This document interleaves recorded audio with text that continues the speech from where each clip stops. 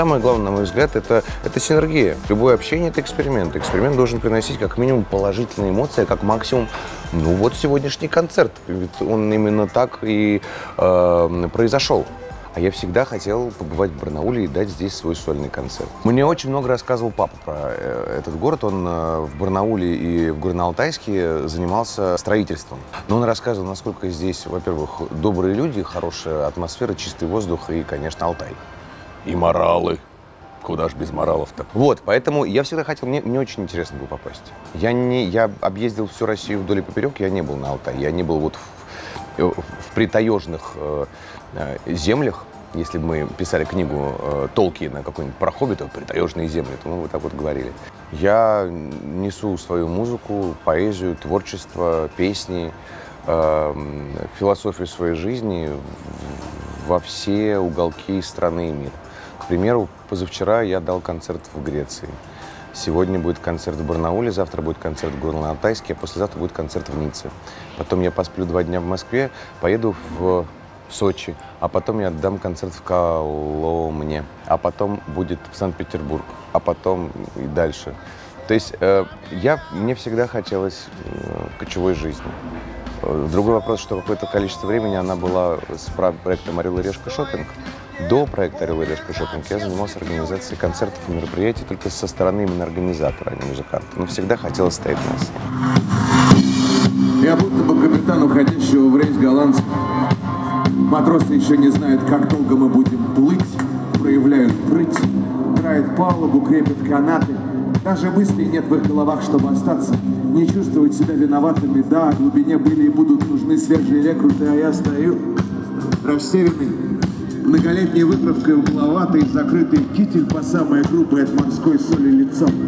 Как кнутом стекаю своих бесов тугим словцом. Можно воспринимать мир как путешествие, жизнь как путешествие. И мои наглядные, прошу прощения за тавтологию, путешествия, они мне очень сузили мир. Он теперь очень доступный, очень простой. Раньше я думал, что, блин, долететь до Америки, это же должно сколько всего совпасть, звезды, купить билеты. А теперь я просто покупаю билет, приезжаю, снимаю тачку и все. Чем дольше я путешествую и в качестве ведущего travel-шоу, потом уже в качестве музыканта э, и творческой единицы, тем больше я для себя понимаю, что мы действительно живем в квантовой вселенной.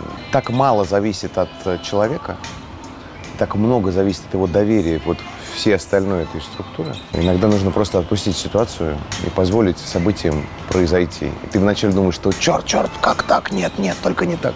А потом ты понимаешь, что все это было для того, все события, которые предваряли настоящее, они были для того, чтобы ты вот конкретно в настоящем был вот именно тем, кем ты должен.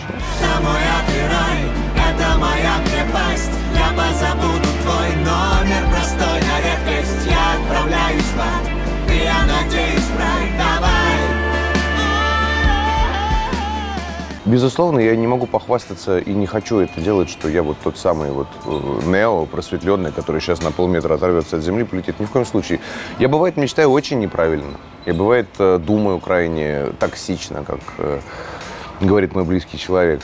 Момент заключается в том, чтобы отпускать эмоции, события и людей. Не держаться за прошлое, потому что прошлое остается только в прошлом. А настоящий момент – это постоянное движение – Здесь самое главное не мешать Вселенной делать работу. То есть э, кто-то мудрый умный сказал, что Вселенная всех любит одинаково. Нет у нее любимчиков, нет у нее фаворитов. Есть просто те, кто умеет от, от, отослать импульс, а потом дальше развиваться и жить. В своем ритме, не фокусируясь. Поскольку э, желание чего бы то ни было, чего-либо, равно сомнение. Как только ты начинаешь страстно чего-то вожделеть, хотеть, желать, ты начинаешь сомневаться, а достойный ли ты. Где мне тебя найти?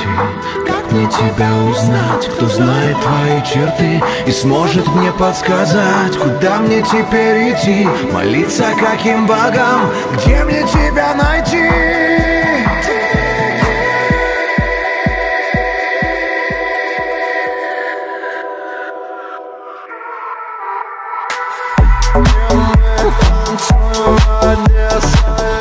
Если я в Москве, опять-таки, то каждый день обязательно стоит, э, там, раз в день стоит тренировка в тренажерном зале, и там два раза в неделю стоит тренировка контактная по боксу. Для себя люблю, не, не, не спрингую, ничего, просто получаю удовольствие от этого. Вообще, в принципе, для построения красивого тела важно не столько физические упражнения, хотя это, безусловно, важно, важно правильное питание. Но этим летом грешен, каюсь, вкусненькое ем. Но а, на, на самом деле правильно держать питание, с утра делать нехитрую не зарядку, качать пресс, отжиматься, подтягиваться, если это возможно. Да и все. А дальше уже э, творческие потенциалы и, и спортивное прошлое просто помогают держать все. Сверху, снизу давит на солнечный свет. Тебя и меня нет. Ушли вместе по проводам горле ядерный ком. Ты слышишь мои слова? Моя романтика нас поймала. Сверху, снизу вода. Двигатель э, современного шоу-бизнеса – это девочки, девушки, женщины, бабушки, весь женский пол нашей и не нашей необъятной вообще нашего необъятной планеты. Э, это где-то в 17 плюс до 45 лет – в большей степени девушки. Но опять-таки, если мы говорим вот именно статистически, кто в большей степени приходит на концерты? На концерты приходят и взрослые мужчины, и молодые мальчики, и пары, и дети, и бабушки, и дедушки. А, а если идейно говорить, для кого это музыка? Это музыка для того человека, который ищет внутри себя равновесие, который хочет найти гармонию, баланс между повседневной жизнью, взлетами и падениями, осознать, что и то, и другое – это часть пути. По сути своей песни, стихи – это некое, ну, если, если бы я был буддистом, то это были бы как раз-таки буддистские рассуждения и наблюдения за тем, как проходит жизнь. Как человек впадает в страсти, как человек из этих страстей выходит. Как человек может отчаянно веселиться, невзирая ни на что. Как человек может плакать. Как он может плакать перед лицом незнакомых ему людей. Как он может точно так же заставлять или давать кому-то отдавать кому-то всего себя без остатка, не думая ни о чем. Это про жизнь. Просто в моем случае она имеет вот такую вот такое обрамление. Это то, что внутри меня звучало, звучит и продолжает, слава тебе, Господи, звучать. Эти минуты не измерить никак глубиной объектив. Ты так красив. Сейчас километры от меня до земли. Руки тяни